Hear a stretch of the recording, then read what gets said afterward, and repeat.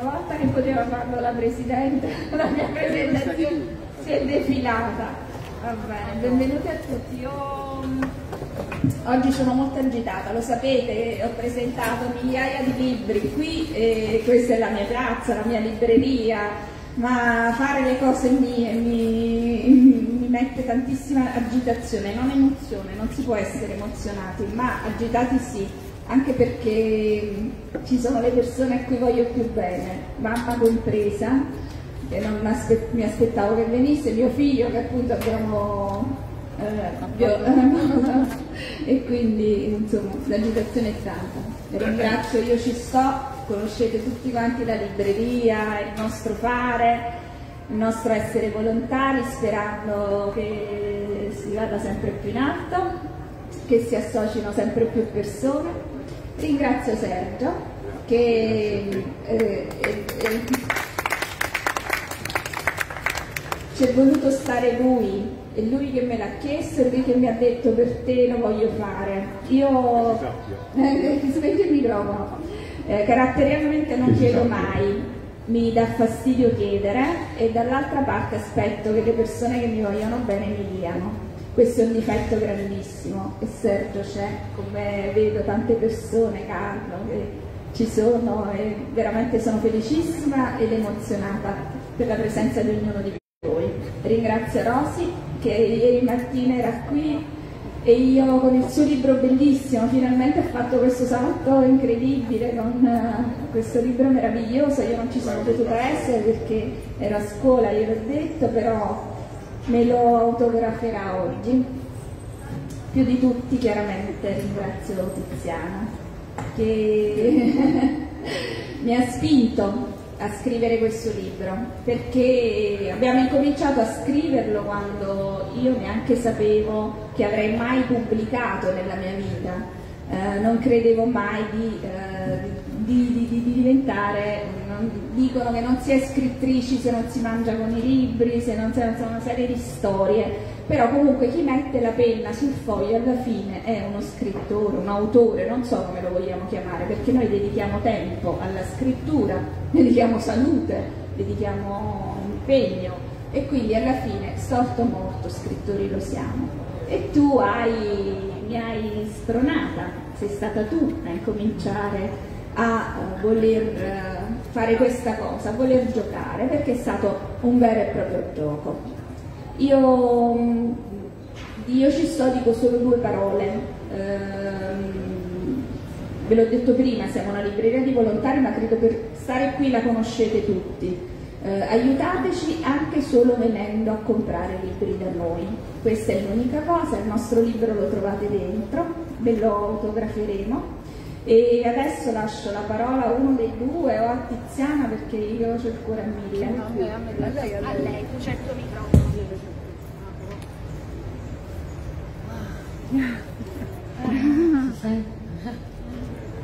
Allora, buongiorno a tutti, io sono felicissima di essere qui. Se avessi potuto una brandina, perché tra ieri, oggi e anche domani. Comunque sì, perché domani abbiamo Piera Piera, ah, Piera Carlone. Sì, sì. E quindi io ti ringrazio Federica moltissimo, ringrazio Tiziana terribilissima amica mia, famosissima amica mia.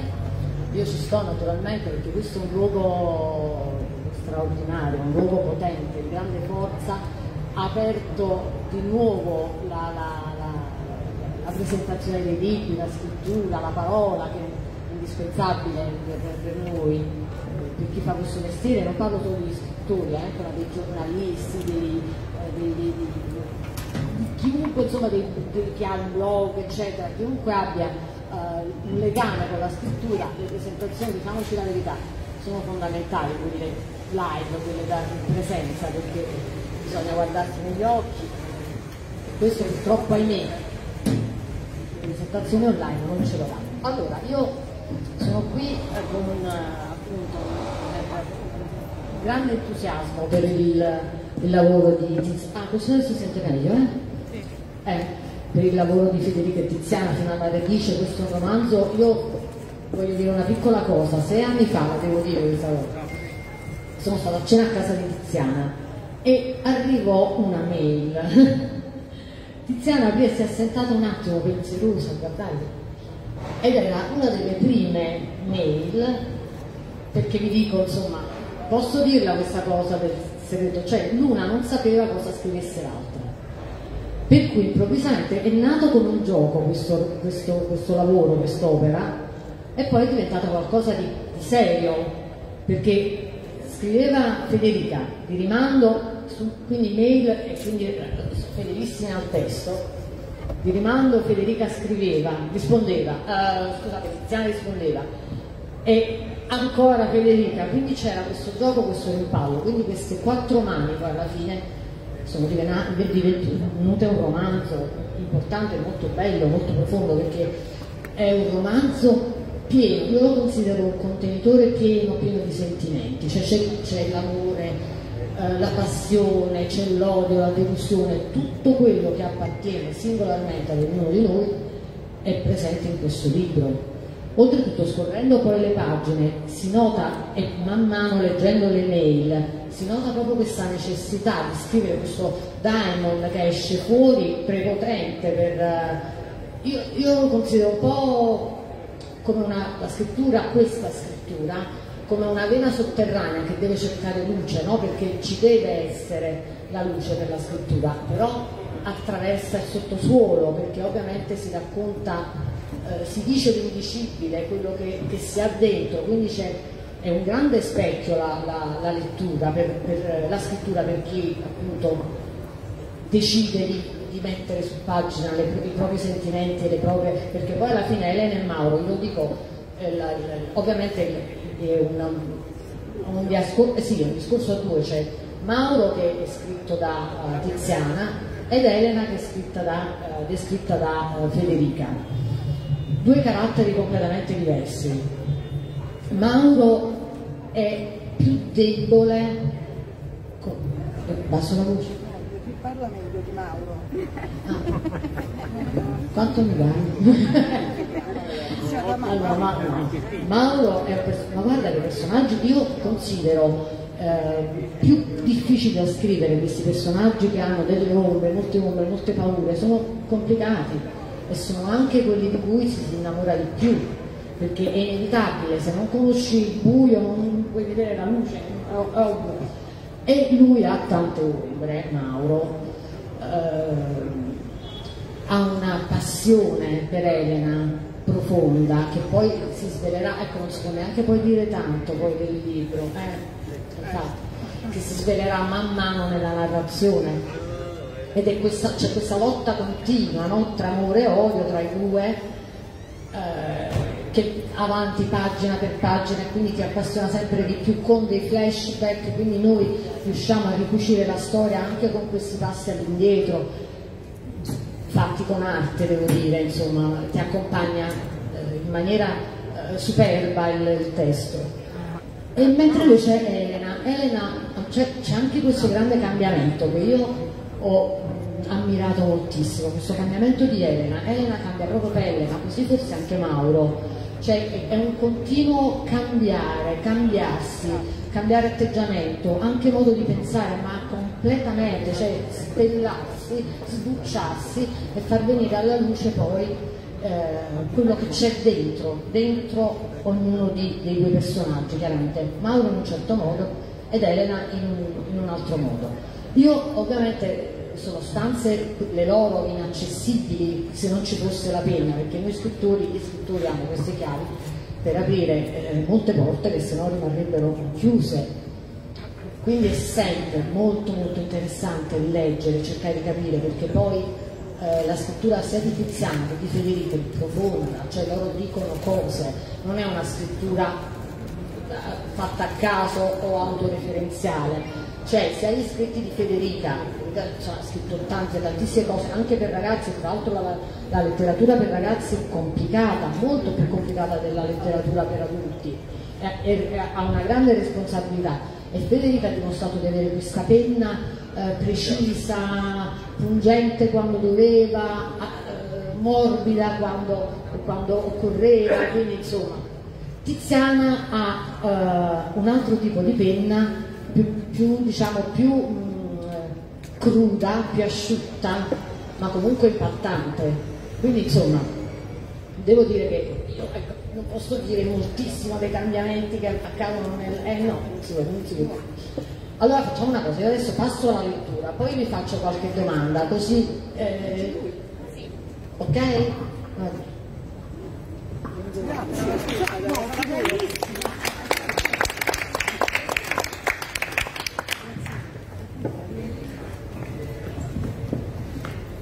Roma, 1 gennaio 2013. Elena rigirò il biglietto aereo tra le mani ancora una volta, come se fosse incapace di crederci. Sentiva la testa vuota, forse perché aveva passato una notte insonne, eppure i pensieri continuavano a presentarsi, così come le domande. Non c'era risposta se non lo sguardo confortante del suo compagno di viaggio. Era accaduto tutto in fretta. La visita al Nagual, la sua proposta di partire insieme, il turbinio di considerazioni e la mancanza totale di soluzioni alternative e quindi la decisione definitiva che le aveva fatto dire sì, verrò con te. Destinazioni impossibili, Messico. Allungò lo sguardo verso il bagaglio lasciato ai piedi dell'uomo, una valigia blu di Gucci che l'aveva accompagnata da quando aveva 15 anni. L'aveva portata con sé anche questa volta, nonostante fosse enorme semivuota, in un accompagnamento diverso da quelli di sempre. Gli oggetti che regalano la continuità con una vita che sta per cambiare, ma che temi di lasciare andare perché il futuro è sempre un'incognita, pensò osservandola. Il Nagual le toccò la mano. Tranquilla, le chiese. Non lo sono mai stato più di così, rispose sorridendo felice. Sapeva che finalmente avrebbe avuto una vita in cui non sarebbe stato necessario il riconoscimento degli altri, non sarebbe più dipesa dai giudizi e forse sarebbe riuscita a diventare se stessa. Quando fu il momento di imbarcarsi, Elena guardò i piedi, come se con quel gesto volesse saltare la terra che l'aveva vista nascere. Chissà se Mauro ha letto la mail, pensò, e chissà se Massimo ha saputo tenere il nostro segreto. Messico, maggio 2014. Seduta su una panchina, Elena ascoltava il suo cuore contando i battiti, 43 in un minuto, la linea della bocca contratta in un'espressione simile a quella di chi mima un'azione e non la compie. Una bambina dal vestito a fiori, le braccia abbronzate, gli occhi pieni di luce, il cuore quasi fermo grazie all'opera della meditazione che le aveva ridato pace. Om, mormorava. Om. Stava lì da circa due ore, ferma, sicura di essere in armonia con se stessa da quando aveva imparato a farsi piacere il mondo, convinta ormai di non aver tempo per la mediocrità. Quello che sentiva di avere invece erano milioni di ore tutte sue da accarezzare, riempire, lasciare andare a suo piacimento. Aveva scelto di vivere così, fermandosi ad ascoltare, cancellando memoria ma conservando un ricordo e qualcosa più di quello, in un frigorifero lontano, che sarebbe stato facilmente raggiunto se e quando lo avesse ritenuto opportuno. La sua seconda occasione, il regalo più bello, il passaporto per l'immortalità, tutto in una provetta. Le era costato fatica, lacrime, determinazione, ma ne era valsa la pena, sì, perché così aveva spento l'ipoteca che gravava sul loro futuro, il suo e quello di Mauro. Ti prego, Massimo, ti prego, ti prego, ti prego. Quante volte lo aveva detto? Tante, tantissime, fino allo sfinimento. Ti prego Massimo, devi aiutarmi, puoi farlo solo tu. Mi stai chiedendo più di quanto dovrei, le aveva sussurrato. Poi le aveva voltato le spalle e se n'era andato lasciandola sola nello sconforto di una richiesta insoluta. La prima volta era stato per telefono, lo ricordava ancora. Dal primo accenno lui l'aveva liquidata subito, sei pazza! Le aveva urlato, chiudendo la telefonata bruscamente. La terza volta era stata più furba, l'aveva atteso sotto il suo studio. Lui si era spaventato, mi hai fatto prendere un colpo, ti ho già detto di no, lasciami in pace. Allora lei si era casciata sul marciapiede, lui l'aveva presa per un braccio, finalmente impietosito.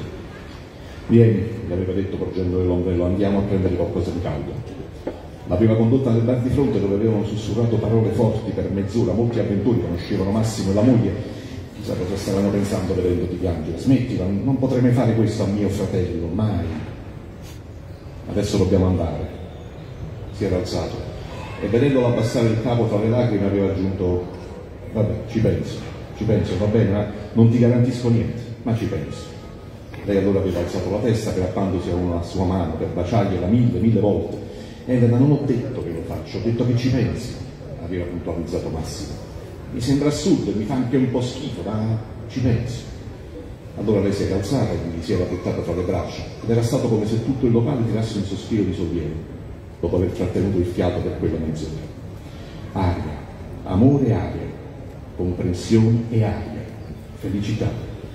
Erano andati via così lei persuasa di avergli estorto un giuramento, lui convinto di aver chiarito i suoi dubbi.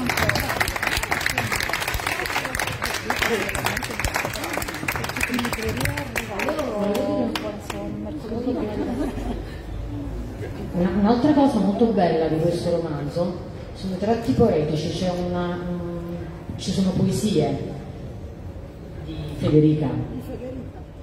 Eh, infatti io a te Federica volevo chiedere perché no, ma sono bellissime. Allora io eh, ovviamente ho letto tanto di Federica, ho letto tutto, ma questa penna così poetica a me era sconosciuta. Cioè l'amore, io lo so che tu sei miei l'amore, poi da quanto tempo ci conosciamo, Federica? Veramente penso quasi dieci anni. Quindi c'è dal mio primo libro, tu sei, mi intervistassi, non dimenticherò mai, mi hai portato tanta fortuna e quindi questo ti sono riconoscente.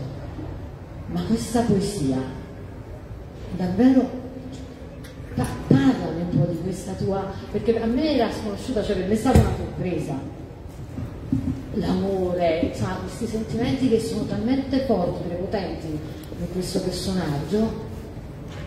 Allora, il, la bravura per me è stata di Tiziana, perché io stavo attraversando un periodo particolare, eh, cioè mio marito è lì, mi sembra anche strano dirlo, però sono periodi che si attraversano sempre in una coppia e specialmente nei matrimoni lunghi, nei rapporti lunghi, ognuno di noi, ognuno credo eh, abbia avuto dei periodi terribili da considerare terribili e che hanno portato tanto dolore, eh, hanno portato tanto dolore. E, una cosa che non abbiamo detto, questo gioco letterario nacque proprio perché entrambe eravamo in un periodo, eh, in un periodo terribile. E quindi lei mi disse che ne pensi se ti mando una mail, la prima mail è nata da questo, che ti pensi se ti mando una mail in cui ti parlo di odio per l'altra persona? Perché spesso e volentieri non, lo, lo, esprimiamo addirittura con i fatti e con le parole verso il nostro compagno o la nostra compagna, ma eh, tutto quello che abbiamo dentro non riusciamo poi realmente a dirlo a noi stessi. E le parole sono molto spesso alterate, tant'è che uno dice ma io non lo credevo veramente, invece quando si scrive si scrive quello che si ha realmente dentro e quindi Tiziana mi chiese lo vogliamo fare, ci vogliamo scrivere, infatti il libro all'inizio si chiamava Di odio e di altri, non mi ricordo, aveva cambiato titolo 30.000 volte il libro, però ti odio, una cosa tipo ti odio. E, um, una cosa che Alberto mi ha sempre detto, scrivi sul dolore. Alberto è stato il mio mentore, Alberto della Sala eh, io... Era dietro di te. Eh, eh, io a lui devo moltissimo di quello che sono. Io gli dico sei l'unico uomo della mia vita. questo per farvi capire. E lui mi ha sempre detto scrivi sul dolore, quindi questa doppia cosa di Tiziana e di, di Alberto mi ha portato a scrivere quello che io veramente sentivo dentro, che poi magari non sono, perché non lo so io se lo sono meno, non so se sono così poetica, se sono così eh, piena d'amore, io non lo so quello che sono, però quando lo scrivo lo so fare, alla fine ci riesco. E quindi è venuta fuori questa Elena molto poetica, quella che forse io vorrei essere, non lo so, anche se io poi alla fine Elena l'ho odiata, l'ho odiata proprio perché io amavo Mauro come personaggio, quindi quando, ele, quando lei mi mandava le mail eh, eh, io le aspettavo proprio, dicevo ma con me, io ce l'ho mai, ci ancora non mai scritto, perché poi questa corrispondenza è durata sei mesi, poi ci abbiamo messo sei anni per scrivere tutta la cornice e farlo diventare un libro, perché soltanto le lettere non potevano essere, anche se per me la parte più bella sono le lettere. alla fine. Però eh, io tra i due amavo Mauro, non, non amavo Elena, io Elena alla fine l'ho trovata pure troppo costruita quindi ha fatto, ha fatto, un percorso di vita eh, similare al mio perché chiaramente Elena in molte cose sono stata io, ho quello che io avrei voluto fare in un periodo in cui stavo tanto male e che invece non ho fatto eh, facendo altre scelte, però poi per me il personaggio forte era Mauro. Cioè, poi io credo tu abbia comunque elaborato poi, perché tu Elena taglia i capelli, toglie i tacchi, cioè... Sì, sì, sì, sì, sì, lo... Eh, vabbè, io ora sto mettendo le scarpe di ginnastica. per la prima volta nella mia vita ho comprato un paio di, di scarpe al di fuori della palestra, quindi ora le sto mettendo i capelli non me li taglio. Stamattina mi sono accorciata le unghie. Stamattina le ho accorciate. No, però non, no, in questo non cambierò mai, almeno spero di non cambiare mai, non, non, no, quel tipo mai. di percorso non lo voglio assolutamente fare, ecco, quella è proprio una parte romanzata, proprio non, no, non voglio. Vabbè, volevo chiedere a entrambe che, che, cosa Mauro non ha detto ad Elena, che avrebbe voluto dirle e Elena non ha detto a Mauro. Sì, inizio io. Eh, sì. Una specie di intervista doppia, questa cosa. Buongiorno a tutti eh. e buona domenica. Va bene così, grazie. uh, sono, sono contenta perché fondamentalmente mi dico sempre che Elena e Mauro sono, ci sono, ma sono sul libro, mi diverte, mi rincuora e mi emoziona che invece Tiziana e Federica ci sono e ci saranno sempre. Quindi questo per me è un momento importante per me. Poi mi, mi fa piacere pensare cosa, la domanda era cosa Mauro non ha detto a Elena. E avrebbe voluto dirle. Eh cioè, sì. Martina perché? e viceversa. È un libro, devo dire, che è un libro di odio, perché Mauro inizia, eh, io, sono, Ma, io sono Mauro, io sono Mauro, eh, Mauro inizia dicendo ti odio e quanto mi sono divertita e quanto mi sono sentita soddisfatta odiando. Io auguro a tutti di poter trovare quest'odio perché l'odio, che si dice il contrario dell'amore, mi ha consentito anche durante la stessa scrittura di produrre energia. Quindi più odiavo Elena, più scrivevo, più soprattutto capivo quello che mi stava accadendo a me come autrice e a me come Mauro, tra virgolette, personaggio. Ed è stato un momento molto intenso quando io ho odiato il mio Mauro, perché c'è una cosa che Mauro non è capace di dire, e forse anche Tiziana, perdonami, Mauro ha fatto una guerra meravigliosa ad Elena, ma davvero l'ho riletto in questi giorni, una cosa che ho detto a Federico, ma che bel libro l'abbiamo scritto. Che quasi, esatto, quasi inconsapevole. Eh, siamo stati fortunati in un momento della vita dove fare cose belle, chissà poi il secondo, ma non verrà bello come questo, comprate questo perché secondo me il secondo non verrà bello come questo. Però fondamentalmente sono rimasta colpita da Elena, perché leggere Federica quando tu la, scrivi, la stai facendo insieme, cioè io sono sempre convinta per capire se io faccio bene o no l'amore, devo chiedere a qualcuno di fare un video nella mia camera da letto, siete concordi miei amici? Ragazzi No ma è vero perché non lo so come faccio l'amore se non me lo vengono a dire o a filmare. Ed è la... Quindi visivamente... Ci dopo prendiamoci Però è divertente invece pensare che quanto le fosse non solo brava, perché poi forse bravi a scrivere quanti ce ne sono, tantissimi, ma quanto lei mi ha dato in questo libro con Elena il messaggio del reale cambiamento.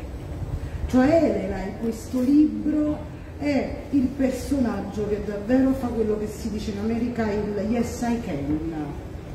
Elena è stato il yes I can e questo è, me ne sono accorta poi dopo allontanandomi da Elena e da Federica, quindi devo dire che sono grata a Federica perché è sicuramente una pagina bella. Sono grata anche a me stessa, perché bisogna amarsi. Io, io mi voglio bene assai. Eh. Adesso, ma io sono quasi innamorata di Mirella Rio, però stamattina ho detto, caspita, ma come sei simpatica. Cioè, ho avuto un momento di, di, di gioia con me stessa. Su, eh, Tu dici come sei simpatica e io dico come sono bella. No, Federico sono anche bella, non l'avevo detto che vuoi scattare l'applauso, dico quanto sono bella io, potete fare un applauso.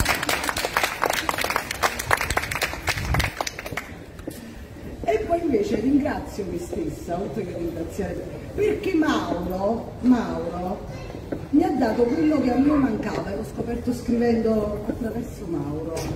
Mauro mi ha dato il silenzio, perché io sono una che parla un sacco, parla troppo, a volte a vanvera e sono anche molto prolissa. Mamma mia, quando, quando parlo per la sua, a volte non mi amo per questo solo, sono una chiacchierona incredibile. Mauro spesso, forse lo desideravo attraverso il mio personaggio, Mauro è quello che ricerca invece la solitudine, il silenzio. Mauro per tutto il tempo diceva voglio, voglio silenzio, voglio stare da solo.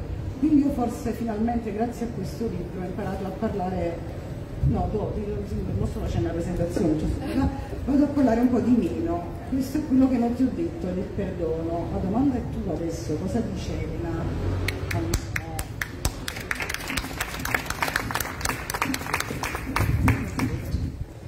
Cosa non dice Elena Mauro?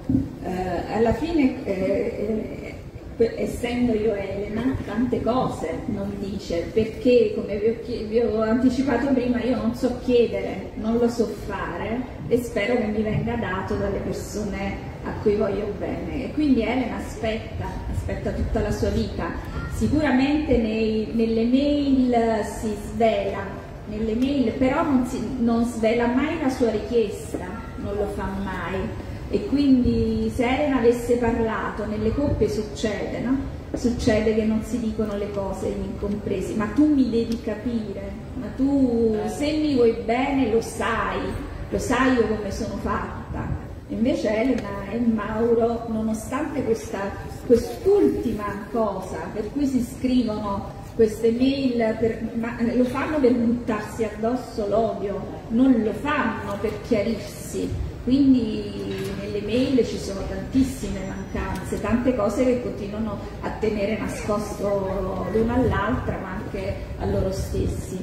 Quindi Elena per me è stata un po' una vigliacca, è stata molto vigliacca per quanto mi piaccia questa figura e io mi ci riveda perché in questi sei anni anche io mi sono ricostruita, sono, ho, ho, contribuito a, ad aprire questa splendida realtà eh, con Canale 21, le mie collaborazioni, questi, questo è il quarto libro e non so quante antologie e quanti racconti, cioè voglio dire ho scritto, continuo a scrivere, mi chiedono 3.000 riviste, cose Sala Librellula qua, il direttore della Librellula con cui collaboro, che, quindi faccio, faccio, rispetto a quello che non facevo sette anni fa, oggi sono una donna completamente, otto anni fa, oggi sono una donna completamente diversa, quindi come Elena sicuramente, però forse eh, la parola eh, a volte è necessaria, quindi non che cosa non gli hai detto, ma tutto quello che ti sei, si, Elena si è tenuta per sé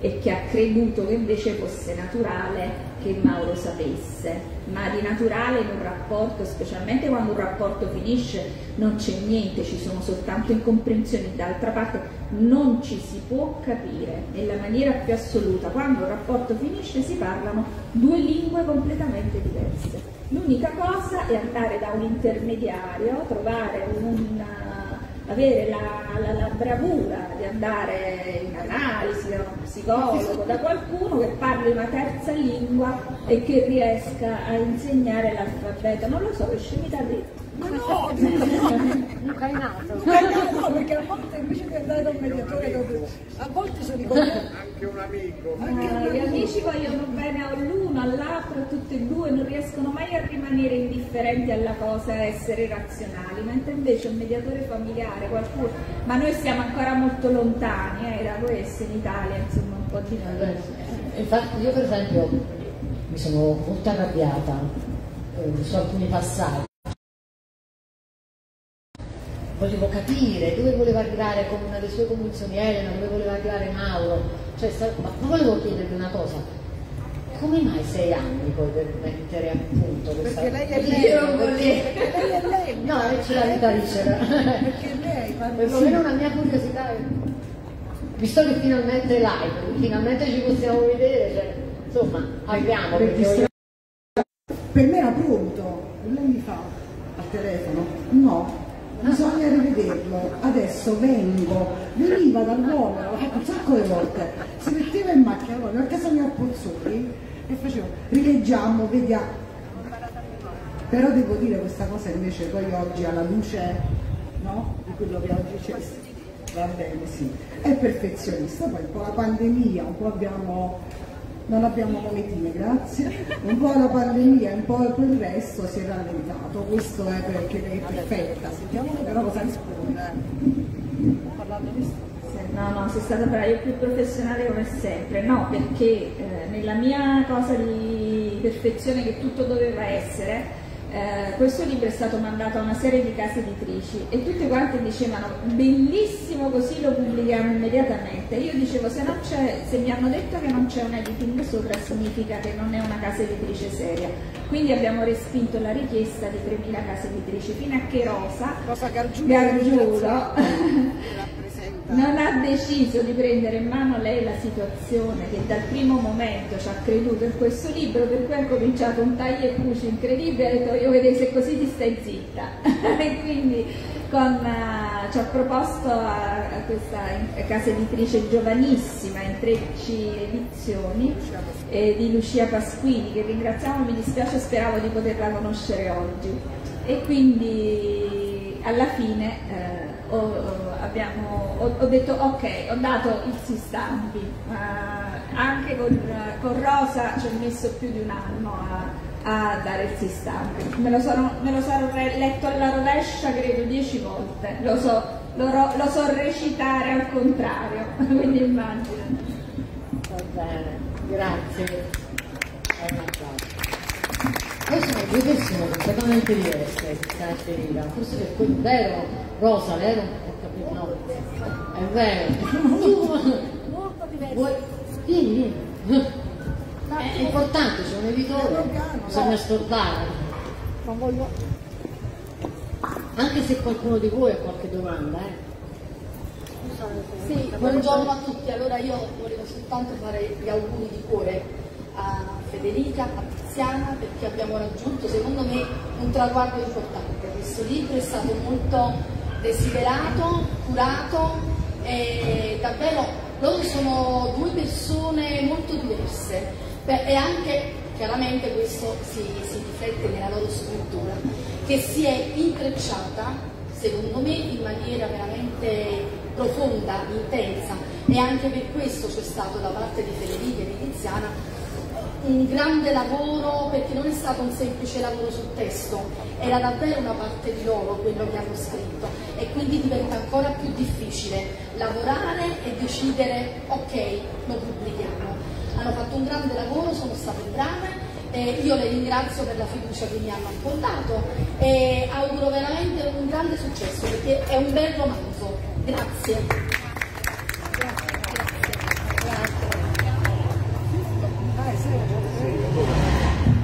Allora leggo le prime due mail che i protagonisti scambiano. Sì, sì.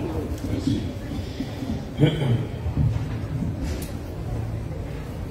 Mail da Mauro Paggio a Elena Borrelli, sabato 29 settembre 2012. Ho deciso di scriverti affinché le mie parole restino come statue granitiche, immobili nei meandri della tua mente un confine per me invalicabile, e non a causa della mia incapacità di scassinatore emozionale, ma per il tuo naturale atteggiamento di chiusura. Sei lontano, sei silenzio, sei irraggiungibile, ora ancora di più. Ed è una follia che mi porta a guardare, a guardarti, a guardarci, indietro nel tempo. Chi sei stata tu? Chi sono stato io? Cosa siamo stati insieme? Adesso lo so. Questa lontananza mi ha portato a vederci chiaro, a riconoscere il passato e immaginare il futuro. Averti accanto è stato come un lungo viaggio. Tu sei stata una valigia che giorno dopo giorno si riempiva e si appesantiva. Ho trascinato il tuo peso per chilometri di vita e adesso mi fanno male le braccia, le gambe, tutto il corpo. Sono stanco, mi fermo qui, in questa stazione di scrittura, iniziando un cammino diverso, da solo, senza bagagli, libero. Il nostro matrimonio è stato una salita, con me un passo avanti. Non ho corso o barato, semplicemente tu eri più lenta, distratta, quasi infastidita da un percorso che invece prevedeva un cammino sincronizzato. I tuoi tempi sono sempre stati regolati dall'orologio del tuo egoismo. Siamo lontani, separati da mura domestiche e sebbene in questo momento avverta la tua presenza in casa, preferisco scrivere perché le parole si frantumano come speggi di polvere. Ti odio. Devo confessare che ti ho odiato dal primo giorno in cui ti ho incontrata, perché l'odio si è affiancato all'amore e poi l'ha assalito, violentato, fagocitato. Il mio sorriso, la mia stretta di mano significavano piacere, Mauro, sei bella, profumi di vaniglia e lo sguardo che raccoglie tutti i paesaggi del mondo che vorrei visitare. La tua stretta invece sembrò distratta e lenta, sussurrasti Elena, guardando oltre le mie spalle. Mi sono sempre chiesto cosa ci fosse dietro di me quella sera oltre. Guardi oltre mentre avevo avuto i, tuoi occhi sulle nostre scarpe durante le passeggiate in montagna. Ho rallentato il passo così come il battito del mio cuore. Odio tutto di te, anche quando non mi rispondi al cellulare, ogni squillo di grigno i denti e penso a come sei stronza. Lo lasci squillare cercando di provocare la mia gelosia, ma io non sono gelosa, ma sono schifato. Perché